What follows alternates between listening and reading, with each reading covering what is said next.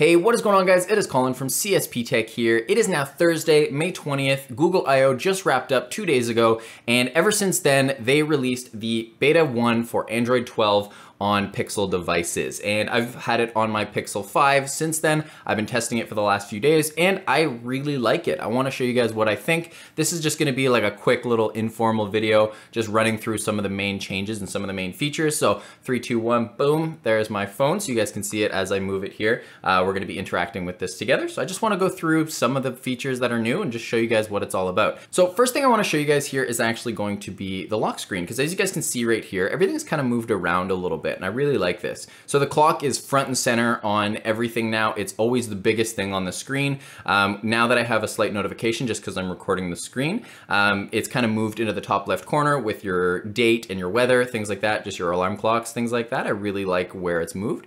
If there was no notification, you guys can see the screenshot here. It basically just becomes a big center um, clock, and it's it's a, it was kind of big at first. I didn't think I like it, but just being able to glance from it across the room, uh, glance at it from from across the room, you'll notice that like, oh yeah, I see exactly what time it is because it's the entire display. So I really like that it's that much bigger. It took me a few seconds to get used to, but I like that it actually kind of takes advantage of the screen a little bit more than just the small clock in the center. So that's the first thing. Jumping into the second thing here is actually going to be obviously Material You. Now, what is Material You? If you weren't watching the keynote, you may have seen this. If I swipe down from the notification screen, you'll actually see that things are quite different. Um, everything's a bit bigger as mentioned, or a lot bigger in certain cases, and everything is just very clean. So you'll see that the notifications are all really rounded. They're not like their own cards anymore. They're all kind of just one big section of cards. So you've got your silent notifications here, your persistent notifications notifications up top. Um, and then obviously you've got your conversations and things like that from Android 11. Um, but the one thing here that's really different is the quick settings. And I didn't think I was gonna like this at first, but if you swipe down, everything's really big. And honestly, it's not that big of a difference in terms of actual functionality. It just looks different. So if you guys saw Android 11 or you've been using Android since I think it was Marshmallow back in 2014 uh, that they started this material design sort of thing, it's been the same. It's usually been three uh, quick settings across, couple down. Um, when you swipe down, you'd get like, you know, you'd have your six across, you pull down and then it expands. I really like that and I got used to it, but obviously it's it is nice to see a change. Um, and with everything being that much bigger, you can see the brightness slider is huge now. Um, even the volume slider is massive for some reason. Um, I don't necessarily love that, but we'll talk about that in a minute. But all the big buttons here in the quick settings are just gigantic. So I can turn on do not disturb, do not disturb. And you'll see that um, when you click things, there's actually kind of like this um, shimmering effect that hits it. I don't know if you guys will be able to see it, but if I can hold down, oh, I can hold down on it and see. You guys can kind of get a quick glimpse of it there, but as you click it on or off, it's kind of like this like sparkle that kind of goes in. It's really interesting. Um, but the other thing you guys will notice is that um, as you swipe through, all your buttons are on here, um, and they're just they're just really big. So whether you like that or not, it is going to take some getting used to, um, but all everything is still here. Everything still works the same. It's all just looks different.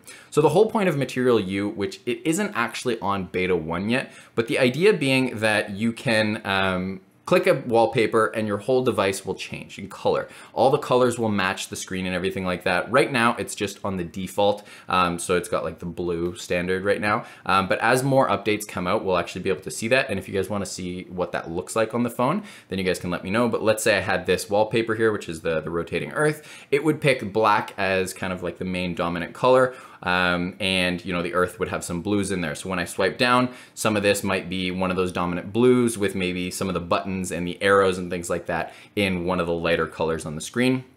It's really cool that now you can really customize your phone or rather the phone will customize to you, which is really interesting. So I'm excited to see what that looks like, but as a first step right now in terms of just an overhaul of how it looks, I think it's really cool. So the next thing is actually gonna be kind of performance and the way it runs. Uh, Android 12 actually runs quite a bit better than Android 11. It's actually surprising how much I've noticed it. Um, animations are fluid. Uh, the screen is usually at 90 hertz more often than it is at 60. Um, performance just kind of really good throughout the phone. I really like the way it responds. And so you, it's something that you actually notice. But one of the things that you will notice more on top of that is actually um, in the keynote, they talked about the ability to uh, work through uh, the way that Android handles processes and things like that. And they were actually able to reduce processing power, which allows them to increase things like animation speed and things like that. So you'll actually notice that as I get to the bottom here, if you flick it up, everything kind of jiggles now. Um, depending on where you go, you'll see that everything kind of responds better to your touches and things like that. As soon as it hits the top here, it kind of bounces. Um, I don't know if I love that, to be honest. Um, it is something that I didn't think that I was gonna, you know, notice that much, but it's kind of annoying at first because everything kind of jiggles um, when you pull it down. But I do like that it at least, you know, it's consistent across the board. So if you have the ability to turn that off, maybe in the future, I don't know, that would be kind of an interesting thing. But as of right now, I think it's cool that it's different and I do like that it's changing, uh, which is always good. But we'll see. I guess that comes down to personal preference. The next thing that's different here is actually just a couple different things. If we pop into the settings screen, you'll notice that again, everything is much bigger. This looks a lot like the um, Samsung settings screen. So you'll notice that Samsung always had just like big settings, nice and clean. Um, and you kind of just pop in here and, you know, see whatever is going on. You got your apps, you got everything here. Digital well-being is all still in here, but everything's just big. So as you move things around, you can see that it's all just kind of laid up differently. It's good and bad depending on how you see it. I like that it's nice and big and clean, um, but it's just, it's all customizable. So that's always fun. Another quick thing here, you guys will notice that as we've gone through here, you can kind of change more icons and make it more you now. Um, as you go into um, styles and wallpapers, you can kind of click on different styles. Obviously you can change your grid and stuff like that. I've actually gone in and messed around with this and I found that I actually prefer um, this kind of little squiggle. I've always had clean circles and I've always thought it was interesting. I didn't like the uh, the default shapes uh, that they had before, but if you pop in, uh, you can choose your fonts, different icons and things like that. Um, colors, but then you get to these shapes, so now you have all these different shapes. So I always went with the circles just because I thought it was interesting. You've got these like crazy ones now, so depending on what you like, this one was always there before. This is one's very Samsung. You've got like the big squares, and then I found this one, and I just kind of really liked this weird off circle. Um, it kind of works with the uh, with the jiggly now, so everything's kind of just in this, you know, it's just kind of different now. And every time you open an app, let's say, uh, let me see if I can open an app that's not really gonna matter. There we go, Etsy. So if we open up Etsy, you'll see that it actually opens up in that color, um, in that little shape as you open it up too, which is kind of cool. So uh, all right, so then let's talk about the last few things here. There's a couple things that are different here. One of the things I noticed is there's this extra dim function now on the screen. So as you go down here, you can bring it all the way down to as low as it can go. Um, and then if you click on extra dim, it just gets a little bit more dim, uh, which is cool. So I think you can kind of um, click it on. And so it kind of goes extra dim for that setting. So if it's bright, you click extra dim, it just goes down a little bit. I kind of like this because when you're uh, when I'm going at night and I'm reading, bringing it down, you can still see that the light is on, but when you click extra dim, it just feels like it's turning off the backlight a little bit more, which actually makes it easier to read at night. Now, I don't know if this is specifically a Android 12 thing, but it's the first time that I've seen it. So I kind of wanted to mention that. So there's just one or two things left that I just wanted to show you guys really quick. Um, the wireless charging animation is really cool. So if I pop this down on my wireless charger, it kind of does the, the regular Android thing and then it kind of shimmers out to the rest of the screen. So I really like that. Um, kind of just like small things that they're changing um, that as you click it down here, vibrates and then wing. it's kind of nice.